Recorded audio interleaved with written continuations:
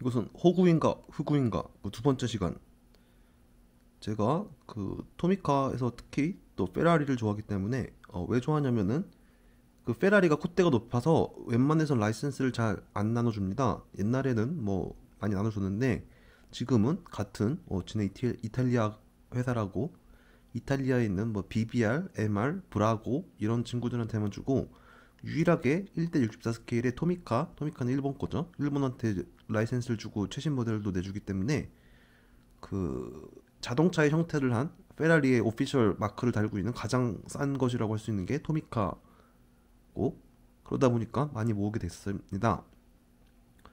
자 그런 사람들을 또 그 이용해서 토미카가 또 장사 수, 수단으로서 색깔별로 또 출시를 했는데 아, 이것도 물론 나온 지 오래됐는데 제가 다만 구, 구입이 늦은 거고 아마 가지고 있는 사람들은 다 가지고 있을 겁니다. 어, 그 이로치가이라 그러죠. 포켓몬스터도 보면은 포켓몬 계속 모으다 보면 끝판왕은 색깔별로 이제 다 모으게 되는 그런 어, 수집욕을 자극하는 그런 거 있는데 그 라페라리라는 페라리 70주년을 맞은 최초의 하이퍼, 하이퍼카 하, 하 뭐야 plug-in hybrid 슈퍼카 hypercar 라페라리가 그 이게 기본이고 검은색과 흰색은 약간 좀 웃돈을 주고 프리미엄을 주고 주고 산 건데 그거 말고도 이걸 보면은 여기 라페라리 어페르타 해가지고 그 조리개 보면 어퍼처잖아요. 그래서 어퍼 aperta라고 읽었나 이탈리아는 그게 그 열린다 오픈 이런 뜻이거든요. 그거는데 아페르 그래서 여기 라페라리 보면은 여기 뚜껑이 없죠. 그거는 아마 일반판에는 없는 것 같아요. 이런 아페르 어페르타는 근데 세트로 묶어서 팔 때 killing title을 하나씩 넣어주면서 이걸 전체를 다 한 번에 네 개를 사게끔, 사게끔 하- 만드는 일본 사람들이 참 이런 걸 잘한 것 같습니다. 그 옛날에 그 뭐죠? 디지몬 카드 뭐 이런 거 모을 때도 보면은 안에 무슨 랜덤으로 뭐가 막 들어있어서 그거를 막 엄청나게 사 모을 수밖에 없게 만드는 그 옛날에 띠부띠부실 그런 거 요새 사람들 안 와요? 그 삼립빵 포켓몬빵 먹으면은 띠부띠부실 들어있어서 그거 막 먹으려고 빵 버리고 막 그랬던 추억이 있습니다만 아 저는 물론 빵을 버리지 않고 다 먹었습니다. 참고로 좋아했던 빵이 그 고스가 그려져 있는 초콜릿 빵에다가 안에 초코 칩이 박혀 있는 그거였는데 그거는 어 최근에도 또 나오더라고요 비슷하게 근데 아 최근이라고 하는 게 제가 6년 전을 말하는 겁니다. 요새는 못 본 것 같습니다. 자 그럼 본론이 이뤄지면 그러니까. 그리고 또 488도 얘 빨간색이랑 노란색을 기준을 갖고 있었는데 여기 488 스파이더라고 해서 또 파란색.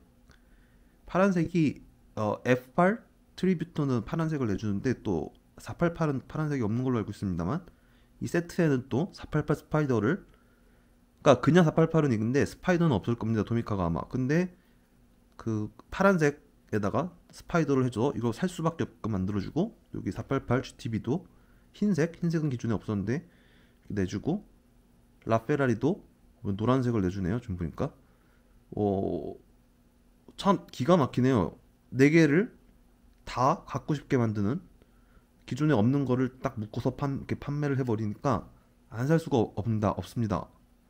어, 참 대단한 것 같습니다. 자, 박스를 한번 열어보고 다시 찍어보도록 하겠습니다.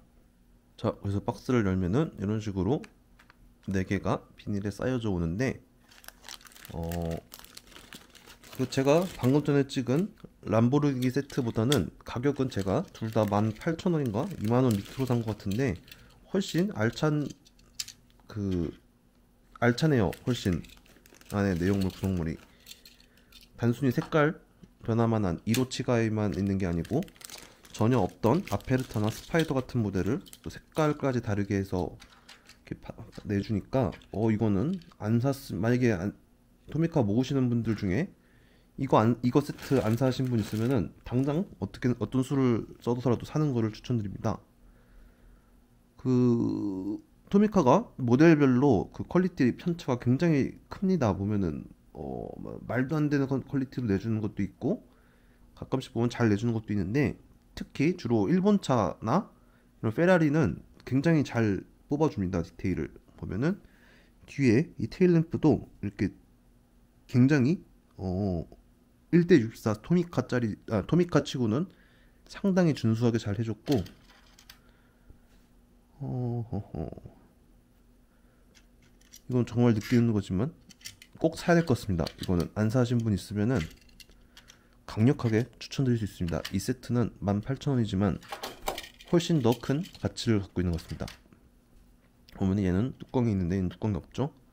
그리고 얘도 스파이더기 때문에 뚜껑이 없고 488도 지금은 노란색, 흰색, 파란색, 빨간색 있고 라페라리도 그 빨간색 그리고 아페르타 그냥 화- 빨간색, 하얀색, 노란색, 검은색 오, 이 정도가 되겠네요.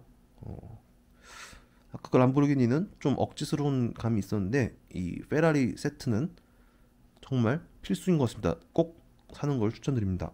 자, 뭐 제가 어디서 샀는지 그런 걸 알고 싶으면은 그냥 가르쳐 드릴 수는 없으니까 댓글에 어떻게 좀 이렇게 아부를 해 보시면 가르쳐 드릴 수도 있고 어 하여간 영상을 그 여기서 마지막으로 하도록 하겠습니다. 아까 람보르기니 세트처럼 나를 기만하는 무슨 교통신호 안내판 이런 건 없네요. 아, 토미카가 저 원래 애들 갖고 놀라고 만든 건데 애들보다는 더 어른이 더, 더 집- 이렇게 열광하는 것 같습니다. 아, 나만 열광하는 건가? 다른 어른들은 관심이 없을까요? 그 프리큐어도 보면 그렇죠. 애들 보라고 만든 건데 실제로는 어른들이 보는 어, 약간 이번 영상은 여기서 마치도록 하겠습니다.